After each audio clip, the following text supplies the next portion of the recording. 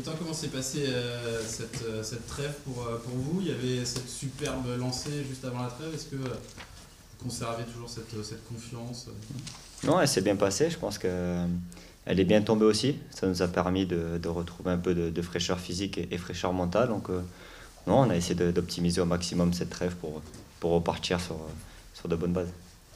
Tu sentais que physiquement il y avait besoin de souffler un peu là après l'enchaînement euh, récent Pas spécialement, mais après c'est toujours bon aussi de, de, couper, de, voilà, de, de, retrouver du jeu, du jeu physiquement et, de la fraîcheur mentale, c'est toujours important.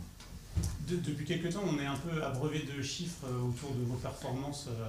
Est-ce que c'est quelque chose que vous regardez, vous, dans, dans le groupe, entre vous, sur toutes ces stats qu'on sort sur Rennes, sur fait que vous jouez bien, qu'il y a des records qui sont battus à droite à gauche Pas spécialement. Nous, on essaie d'être le plus performant possible sur le terrain et forcément, ça donne des bons résultats, mais il voilà, ne faut vraiment pas se focaliser sur les chiffres.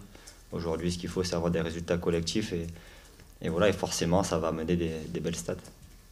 Qu'est-ce qu'il a de particulier, ce, ce, déplacement à Nice? On parle de tournant, on parle de match. Euh, voilà, rien de particulier, on arrive dans la, dans la dernière ligne droite. Aujourd'hui, tous les matchs vont être, vont être importants jusqu'à la fin. Donc euh, voilà, on va aller là-bas avec, euh, avec notre jeu et puis, euh, et puis voilà, on va voir ce qui se passera.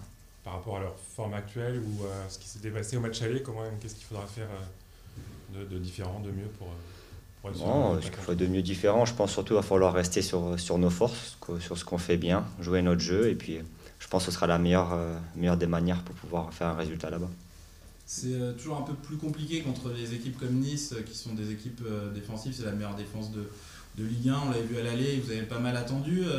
Vous avez plus de mal, tu as l'impression, contre ces équipes-là, où ça y est, avec les derniers gros scores, vous, arrivez enfin à percer ces, ces murs non, après, chaque match est, différent. Je pense qu'aussi on essaie de, de progresser sur, sur ça, parce que ça nous a posé des problèmes à un moment donné. Donc on essaie de résoudre ces problèmes collectifs voilà, le dernier match s'est plutôt bien passé, mais voilà, ça va être un nouveau match avec euh, un nouveau défi à, à gravir. Tu dirais que c'est quoi la clé? C'est c'est dans le jeu ou c'est la réussite plutôt euh, qui vous appuie justement sur ces défaites-là peut-être? Non, je pense qu'il faut continuer à jouer et faire notre jeu. Et puis euh, forcément, l'efficacité dans un match de foot, c'est ultra important, que ce soit défensif ou offensif. Donc, donc bien sûr, faire notre jeu et être efficace, c'est le top.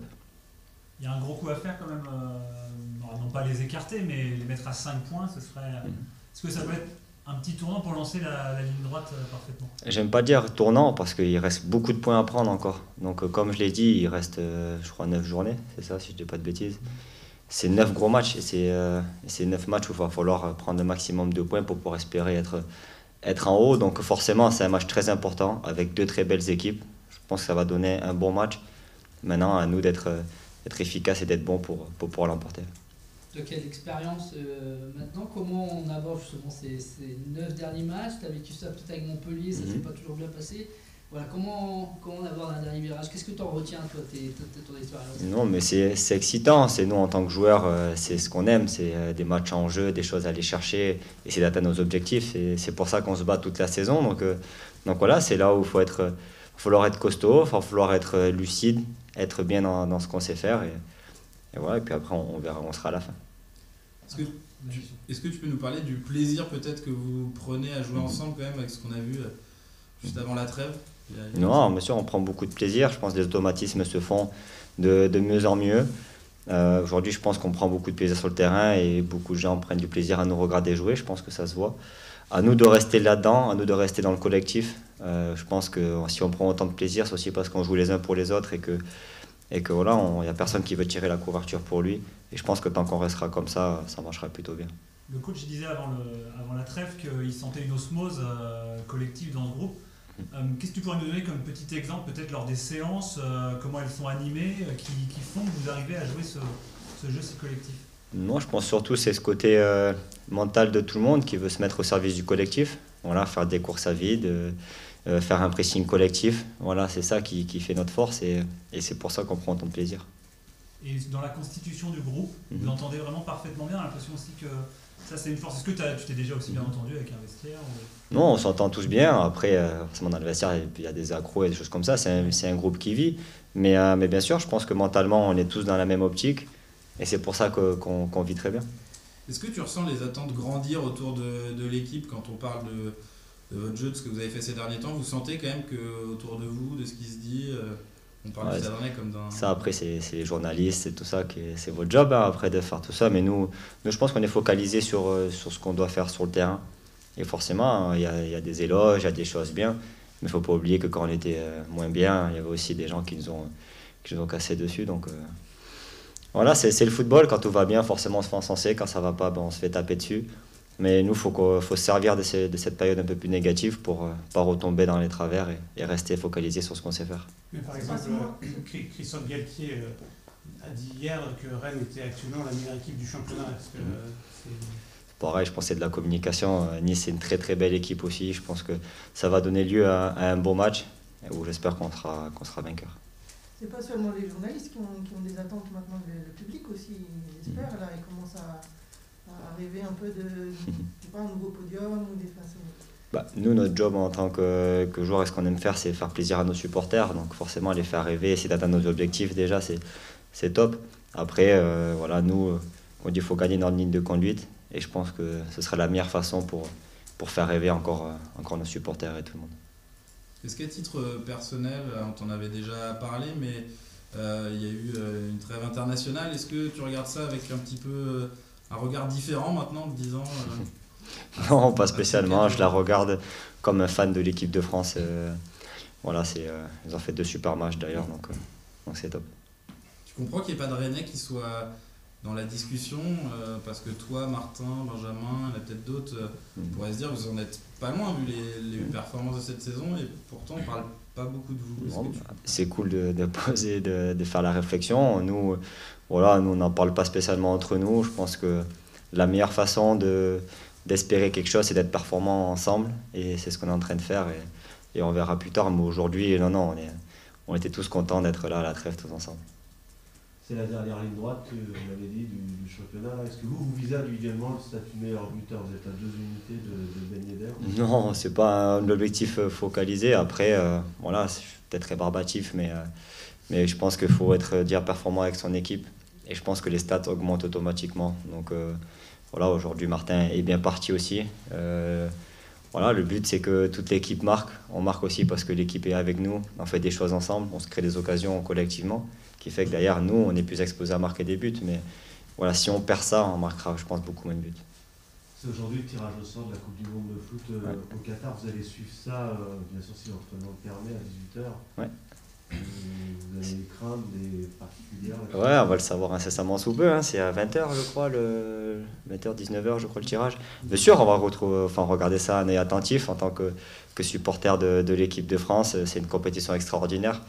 Et même aujourd'hui, avec, euh, avec Naïef qui s'est qualifié aussi, avec, euh, avec des joueurs, ça, ça fait un petit œil aussi pour eux quand, quand le tirage au sort va tomber, quand on va voir le Maroc, ça va être toujours un petit peu sympa. Je vais peut-être lui envoyer un petit message quand, ou si on est ensemble, on en parlera sûrement. La Coupe du Monde, elle commence là? Non, la Coupe du Non, Monde pas commence. par le euh, du tirage au sort qu'on rentre un peu dans cette actualité-là. Non, après forcément les gens vont en parler du tirage et tout ça, mais euh, il y a encore beaucoup de, de mois avant, avant la compétition. Donc euh, non, non, je pense que ce sera la compétition commencera le, le jour où elle débutera. Vous faites pas partie de ceux qui se disent on va la boycotter parce que c'est au Qatar, parce que tout ça. Il y a eu des voix qui se sont déjà élevées hier euh, à Doha. Non, non, non, une Coupe du Monde, c'est une Coupe du Monde, c'est une des plus belles compétitions du monde. Je pense que voilà, ça sera, ça sera dans tous les cas un super moment. Merci. Merci. Bonne journée les gars. Bonne journée.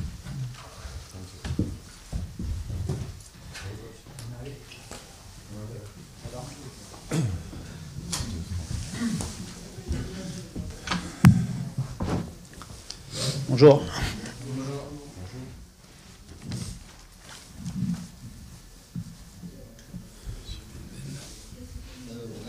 Parti? Ouais. Ouais, le point habituel, hein, euh, sur le groupe, euh, pas de casse, de retour de- d'internationaux, des retours de- de- d'infirmerie aussi, peut-être? Euh, tous les internationaux sont rentrés en, en bonne santé. Concernant euh, les retours, euh, on a Romain Salin qui réintègre euh, le groupe. Sinon, Jérémy Doku est toujours absent, Kamaldine aussi, Loïc Badé également. Bien sûr, Jérémy Gélin. Pour le reste, tout le monde est, et opérationnel. Ils en sont où, euh, Jérémy, Loïc, euh, Kamaldine Les Jérémy, Loïc, Kamaldine de la Jérémy, j'ai bon espoir qu'on le retrouve euh, pour la semaine prochaine, compétitif euh, dans le groupe, Jérémy Doku. oui. Concernant Kamaldine, c'est difficile d'avoir une échéance précise parce que c'est une blessure qui peut évoluer assez vite dans un sens ou dans l'autre, donc c'est difficile. Et Loïc, euh, on attend aussi euh, impatiemment son retour. J'espère le plus vite possible, mais difficile de donner un délai aussi. Et il s'était reblessé. Oui. hein, euh, À l'adducteur, oui. Comment, comment vous avez retrouvé euh, Amari Euh, c'est- Est-ce que ça représentait pour lui euh, Ouais. Il n'est pas passé loin? Déçu, euh, déçu, mais euh, il a aussi une faculté à, à vite se projeter sur euh, les échéances euh, et qui arrivent. C'est une grande force. Il a cet état d'esprit euh, de prendre les choses positivement, même les, grosses déceptions, même après de grosses déceptions. Et il était très déçu, évidemment. On en a parlé, on a échangé un petit peu en- ensemble. Mais voilà, maintenant il se projette avec, avec l'équipe sur cette fin de saison qui va être aussi très excitante et très importante. Le retour de Salin, ça, enfin, Alemdar reste quand même euh, numéro 1. Oui, c'est Degan qui, qui jouera demain. Tournant ou pas ce match à, à Nice, Bruno? On parlait de, de cette possibilité de éventuellement les mettre à 5 points à 8 journées de la fin. Non, non parce qu'il man- il reste, euh, il reste beaucoup de matchs encore, avec euh, beaucoup de euh, confrontations directes pour les uns et les autres. Donc, euh, non, ça reste un match euh, important, mais euh, rien ne sera définitif, euh, quoi qu'il arrive, à- après ce match. Sur le calendrier, justement, toi, tu préfères un calendrier comme ça, on va dire compliqué, avec euh, des joueurs qui du coup risquent d'être mobilisés naturellement sur chaque match ou de jouer des équipes un peu. De toute façon, vu la physionomie de ce, ce championnat où quasiment tout le monde a quelque chose à jouer, que ce soit pour le maintien ou pour euh, la, Coupe d'Europe, chaque match est difficile parce que euh, faut pas euh, s'imaginer que lorsqu'on joue des équipes qui luttent pour le maintien, euh, c'est plus simple. Donc, euh, bon, le calendrier, il est, euh, il est comme ça, on, on s'en contente et on sait que ce seront des matchs difficiles. Tous les matchs vont être difficiles, que ce soit là euh, demain soir contre Nice parce que c'est un concurrent direct, mais ça ne sera pas plus simple euh, d'aller à Reims la semaine prochaine ou de recevoir Saint-Etienne et, Lorient, par exemple. Donc, euh, c'est un championnat cette année qui est, très serré et on voit bien que tout le monde est capable de, de faire des résultats contre n'importe qui. Donc, il faut être concentré, être à 100% euh, à chaque match. Tu vois cette opposition de style entre une équipe, euh, la vôtre spectaculaire, l'autre beaucoup moins, mais les deux sont coude à coude Ça va être un match forcément euh, particulier. Ouais, je suis pas certain qu'on assiste à- au match qu'on puisse attendre. Parce que euh, peut-être qu'il y aura une équipe qui sera moins attentiste que ce qu'on veut bien euh, dire. Ou, voilà, donc on, verra demain. Ce qui est sûr, c'est que ça va être, je pense, un bon match avec deux bonnes équipes. Nice, c'est la meilleure défense du, championnat. Euh, c'est très solide, mais c'est aussi une équipe qui a du talent euh, offensivement parce qu'ils ont des joueurs euh, talentueux. Donc nous, c'est un petit peu pareil. Donc on devrait, je pense, assister à un bon match et j'espère qu'on assistera à un bon match pour le, pour le championnat et pour le foot français parce que c'est, ça donne une bonne image de, de notre football. Vous vous attendez à une équipe de Nice plus, plus conquérante qu'elle ne, peut l'être euh, Ils ont montré à Marseille qu'ils étaient capables de le faire puisqu'en deuxième mi-temps, ils ont été euh, très dangereux et ils auraient mérité, je pense, euh, au moins le match nul. Donc euh, ils sont capables de le faire, ils l'ont déjà fait aussi. Donc il ne faut pas réduire cette équipe seulement à sa solidité défensive, à son bloc équipe et à ce qu'ils font quand ils n'ont pas le ballon. Ils ont aussi des armes euh, intéressantes quand ils ont le ballon et, et je pense que, que demain on devra nous aussi être euh, très solides lorsque, lorsqu'on devra défendre. C'est aussi hein, une opposition entre sans doute les deux meilleurs euh, coachs français en ce moment en Ligue 1. Euh, que- toi qui connais bien Christophe, comment tu, quelle différence pour toi il y a dans vos, vos manières de, de travailler, toi qui le connais un petit peu? Je ne pense pas qu'il y ait d'énormes euh, différences dans notre euh, façon de, de manager euh, euh, les groupes. Euh, après, au niveau du jeu, euh, certainement qu'il en a des, des convictions et des, des principes qui diffèrent un petit peu, même si on ne peut pas dire qu'il y a une, une, grande marge entre lui et, entre lui et moi, mais voilà, je pense qu'on est, on est deux coachs qui avons une relation avec nos joueurs très proche, ce qui ne nous empêche pas d'avoir beaucoup d'exigences dans ce qu'on demande aux joueurs, dans ce qu'on demande à nos équipes, à la fois à l'entraînement, mais aussi en match.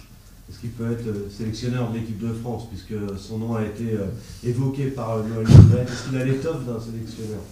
Ça, je sais pas. C'est pas le même métier d'être sélectionneur. Déjà, il faudrait que lui, il ait, il ait envie d'être sélectionneur plutôt qu'entraîneur. Je sais pas. Mais en tout cas, il a montré euh, que ce soit à Saint-Étienne, à Lille, où il a repris une équipe moribonde, et il en a fait une équipe championne de France euh, et maintenant à Nice, qu'il était capable de s'adapter à, plein de contextes euh, de clubs différents, avec des joueurs différents, avec un groupe différent. Donc euh, ça montre sa qualité de, coach, puisque que ce soit à Saint-Étienne, à Lille ou, maintenant à Nice, les contextes sont différents, les groupes sont différents, et à chaque fois il a su atteindre ses objectifs, voire même les, dépasser largement. Donc ça montre ses qualités de coach. Quand Galtier dit que Rennes est actuellement la meilleure équipe du championnat, je pense qu'il y a beaucoup de monde qui seront d'accord. Est-ce que c'est de la communication ou est-ce que c'est juste un constat euh, lucide du moment? Non, je crois qu'il le pense, euh, mais ça ne veut pas dire qu'il euh, va nous laisser tranquillement gagner le match. Hein. Est-ce qu'il veut vous endormir Non, je pense pas. Je pense pas. non, je pense qu'il est, il est sincère quand il le dit. Mais euh, nous, c'est le danger euh, qu'on doit, contre lequel on doit lutter.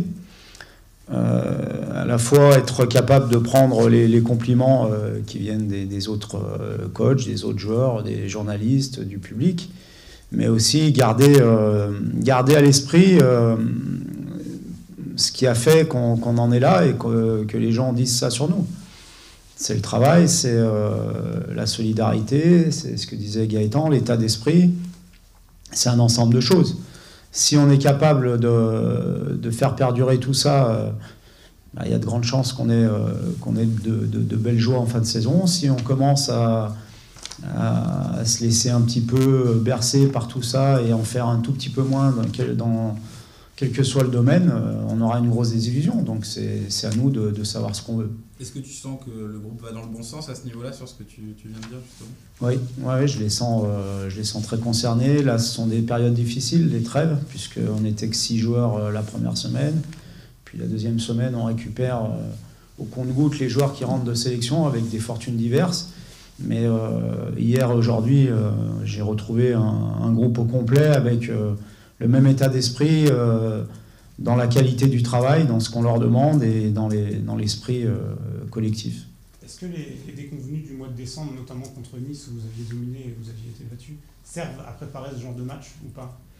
Oui, mais je crois qu'il faut surtout euh, continuer à, faire ce qui fait notre force, euh, de se concentrer sur, sur les moyens qu'on met en œuvre pour gagner les matchs. Parfois, on peut mettre les moyens, on peut dominer, on peut avoir euh, l'impression qu'on a fait un très bon match et puis euh, perdre, comme ça a été le cas contre Nice ou à Paris par exemple. Mais en tout cas, on sait que sur la durée, si on est capable de rééditer euh, le même genre de match, on en perdra peut-être un ou deux sur, sur 10 et on en gagnera, on en gagnera 8. Donc c'est là-dessus où on doit continuer dans notre, dans notre projet. La clé de ces matchs-là, face à Nice ou face à Lille à l'aller, c'était quoi? C'était un problème de la qualité de jeu ou juste l'efficacité, la réussite Moi, ça a été l'efficacité, la réussite, parce qu'on concède un, premier but sur un penalty bon, qui, était évitable. On en a certainement un pour nous euh, qui est quasiment la même euh, action qui n'est pas sifflée. Et puis on a eu beaucoup de situations où on n'avait pas su être euh, suffisamment efficace. Donc à nous de, continuer à, à, créer du jeu tout en étant très efficace, ce qui est le cas depuis quelques matchs. Mais là, on sait qu'on va avoir affaire à une équipe qui est très forte défensivement. Donc il faudra, euh, il faudra à la fois être capable de créer du jeu et, et à la fois être euh, très très efficace dans les, dans les deux surfaces. Avant la trêve, tu, euh, tu parlais d'une osmose collective que tu n'avais presque jamais, jamais vécue dans, dans, les groupes que tu as pu entrer. comment on l'a créé celle-là Quelques petits indices que tu peux nous donner de comment on crée ça? Je pense qu'il y a plusieurs éléments. Le premier, c'est de mettre les joueurs dans les meilleures conditions possibles, et notamment au niveau mental, leur donner conscience et confiance en leur qualité individuelle et collective. Et ensuite, évidemment, qu'il y a aussi un, travail sur le terrain, tous les jours, euh, pour travailler ces, déplacements, les uns par rapport aux autres, euh, l'équilibre qu'on doit avoir à la perte du ballon, euh, ce qu'on souhaite faire à la récupération, etc. Tout ce qu'on peut mettre en place dans nos, principes de jeu défensifs et, offensifs. Ça vient beaucoup de la mentalité du groupe que tu as, aussi de, l'intelligence des joueurs. Bien sûr. Euh, ça, c'est primordial Bien sûr. Je le dis souvent, vous pouvez avoir euh, plein de bonnes idées euh, sur le football, plein de bons principes de jeu offensifs, défensifs.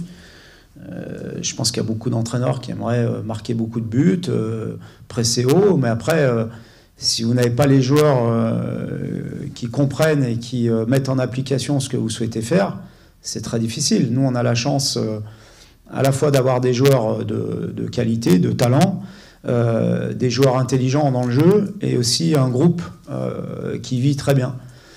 Donc, euh, à mon avis, c'est les trois, les trois raisons principales qui, font qu'on peut mettre en place ce, style de jeu. Comment vous avez vécu cette, cette coupure, cette trêve On a entendu votre nom en Angleterre, en Espagne. c'est déstabilisant ou au contraire, on en retire une certaine fierté? Tout ça, c'est de l'intox vous vivez? Non, franchement, moi, je... d'abord, on a, on a eu une semaine où on a, été, on a pu euh, récupérer un peu. Après, en ce qui concerne toutes les informations, euh, que ce soit sur moi, sur les joueurs, il faut toujours, euh, je le dis, prendre du recul et nous se consacrer à, notre travail. Info, intox, j'en sais rien du tout. Moi, en tout cas, j'ai pas de, j'ai aucune, aucune info concrète sur quoi que ce soit. Ce que je sais, c'est que je suis bien au Stade Rennais, qui reste 9 matchs à jouer. J'ai encore un an de contrat, donc euh, y a pas, je, je, franchement, ce pas des choses euh, auxquelles je, me, je fais attention. On pose la question à tes joueurs qui sont en fin de contrat en 2023. On peut te demander également est-ce que tu as envie de prolonger ou est-ce que tu ne réfléchis pas à ça Non, pour l'instant, ce qui m'intéresse, c'est de préparer euh, les matchs, de me concentrer sur, sur notre travail, sur mon travail, sur le travail du, du staff et des joueurs pour être le, plus performant possible jusqu'à la fin de saison. Le reste, euh, comme je dis souvent, ça vient naturellement euh, une fois qu'on a, qu'on a fait notre travail. Est-ce que c'est des discussions qui ont été entamées, euh, même de manière informelle, ou pas du tout? Oui, oui, on en, a déjà parlé il y a, quelques temps avec, avec Florian et avec le président Nicolas et, Olivier aussi. Donc oui, ce sont des choses euh, qu'on évoque, mais pour l'instant, il n'y a, rien de, concret. Moi, j'ai envie aussi de, vraiment me consacrer à mon travail et, au match qui, reste, puisque de toute façon, il y a encore un an de, contrat derrière. Donc, il n'y a pas, il a pas d'urgence euh, absolue. Mais entraîner en Angleterre, est-ce que vous dites qu'un jour, euh, ça vous plairait d'entraîner ailleurs moi, je ne suis pas dans, ce raisonnement-là. Aujourd'hui, je suis venu l'année dernière ici pour un projet. Je dis souvent qu'il y y a trois choses très importantes pour moi dans, mon métier. C'est le projet sportif, évidemment, euh, le projet humain et, la projection qu'on peut avoir euh, euh, sur, sur nos ambitions personnelles. Donc aujourd'hui, je suis heureux d'être là, tout se passe bien. L'Angleterre, évidemment, que, tout le monde aime le football anglais et, que tout le monde a envie un jour soit d'y jouer, soit d'entraîner. mais Aujourd'hui, je suis pleinement dans le, dans le projet du, Stade Rennais et, et j'ai pas de raison de penser à autre chose, euh, ni maintenant, ni, euh, ni dans un avenir très proche, au contraire. Il y a le tirage au sort de la Coupe du Monde aujourd'hui. Euh, est-ce que cette Coupe du Monde a sa place au Qatar? Alors évidemment, elle l'a puisqu'elle va avoir être liée, est organisée. Mais enfin, on a entendu la délégation norvégienne hier quand même insister sur ces problèmes de, chantier des stades, des ouvriers enfin une voix qui sort un peu du lot, on va dire Après, euh, il y a des gens qui décident d'attribuer les, les Coupes du Monde, les Championnats d'Europe, euh, les Jeux Olympiques dans des pays. Euh, nous, sportifs, j'ai toujours l'habitude de dire qu'on a, on a souvent un avis. On n'est pas forcé de le partager en public. Mais euh, à partir du moment où il y a des choix qui, sont faits, on se doit euh, de les respecter. Et euh, on fait partie, euh, pour, les, pour les sélections qui vont aller jouer là-bas, euh, d'un pays qui a accepté certains, certaines décisions. Donc on n'a pas, à mon avis, à mon sens, à, à exprimer euh, un accord ou un désaccord en public. Sauf que ces choix, ils ont été faits de manière un peu euh, particulière, on va dire, manifestement. Moi, j'ai pas d'éléments pour dire ça. On sait pas. On, on peut toujours extrapoler, oui. Mais euh, est-ce qu'on a des éléments euh, tangibles qui peuvent nous, nous faire dire ça? Euh, Moi, j'en ai pas en tout cas. Juste Jonas Martin, on sait que le club ne va, pas- ne va pas le prolonger, Oui. euh, ne restera pas. Est-ce qu'il est toujours mobilisé? Est-ce que ça a été un choix difficile de... Ouais, c'est toujours un choix difficile de, de garder ou pas un joueur en, en fin de contrat, de lui dire. Euh, il me semble que c'était la, la bonne décision de, de lui annoncer euh, avant la fin de saison. Euh, concernant son état d'esprit, il n'a pas changé. Il est resté euh, concerné, impliqué depuis, euh, depuis qu'on lui a fait part de, cette décision. C'est une décision qui est liée euh, aussi à la stratégie du club. euh, dans la promouvoir aussi des joueurs du centre de formation, non pas à son niveau, puisqu'il a montré cette année que c'était un joueur très important pour nous et un joueur fiable.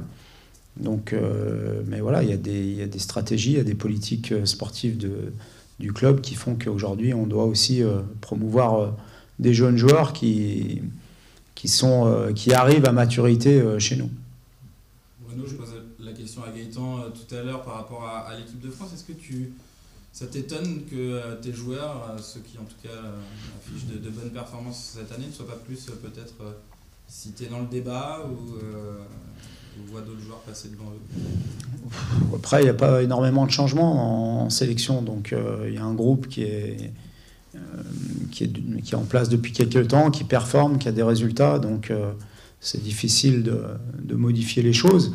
Ce qui est sûr, et c'est ce que je leur dis, c'est que ce qu'ils ont le mieux à faire, c'est continuer d'être performants, individuellement et collectivement. Et puis euh, après, ce sont des choses qu'on ne maîtrise pas, donc euh, si ça doit arriver, tant mieux. Si ça n'arrive pas, euh, bah, il faut qu'ils continuent à prendre du plaisir dans leur club et, et à continuer à performer pour, euh, pour atteindre leurs objectifs, euh, que ce soit individuellement ou collectivement. Est-ce que tu sais si certains ont reçu des, des pré-convocations? C'était pas le cas à l'au- à l'automne, euh, notamment? Non, pas que je sache. Est-ce que, euh, maintenant qu'on connaît toutes les équipes qui sont qualifiées pour le, le mondial, est-ce que ça joue dans, dans la manière de recruter des joueurs cet été? On se dit, on va peut-être pas prendre des internationaux qui vont disputer un mondial en cours de saison pour pas être cramés. Est-ce qu'il y a déjà cette réflexion qui s'engage? Non, parce que forcément, si vous voulez avoir de, bons joueurs, euh, il y, a, de grandes euh, possibilités pour qu'ils soient internationaux. Donc, euh, ça rentre pas en. C'est pas un critère. et puis en plus, la Coupe du Monde, c'est tous les 4 ans, au mois de novembre, certainement. Je suis pas sûr qu'il y en ait une, prochaine rapidement au mois de novembre. Donc, on peut pas faire un recrutement simplement parce que ponctuellement, il y a une Coupe du Monde en, en novembre-décembre. Donc, non, non, ça rentre pas en en compte dans le futur recrutement. Il y a des bonnes sélections éliminées aussi. Hein. Oui, aussi. Non, mais nous, ce qui, nous, ce qui est important, c'est- ce sont les bons joueurs, et peu importe euh, dans quelle sélection ils jouent et si euh, leur sélection est qualifiée ou pas euh, au mondial. Euh, du fait de la, de la guerre en Ukraine, il y avait aussi cette, cette possibilité ouverte d'aider les joueurs là-bas pour éventuellement les recruter. On a vu Lyon qui a, qui a fait un, Oui. un joueur hier. Est-ce que vous, ça a été dans la réflexion? Et Non. qu'est-ce que tu penses de, bah, du fait de pouvoir se renforcer euh, Peut-être pas toutes les équipes pourront. Est-ce que ça peut fausser aussi en partie euh, Non, parce que je crois qu'il n'y a qu'un seul joueur qui est autorisé euh, par club à être recruté, donc euh, ça limite quand même euh, les, on va dire le- l'écart entre les, entre les clubs qui, qui ont les moyens de recruter et ceux qui n'ont pas forcément les moyens. Nous concernant, on n'avait pas de, de volonté de renforcer notre équipe puisque elle est déjà très complète. On- le, le renfort qu'on peut souhaiter, euh, ce sera le, re- le retour de nos trois euh, joueurs blessés. euh, que ce soit Loïc, Kamaldine ou, ou Jérémy sur la fin de saison, parce que ce sont trois joueurs importants pour le, pour le groupe. Donc on n'a pas, on n'a pas évoqué cette possibilité-là avec euh, Florian et, et le, le club. Merci. Merci. Merci.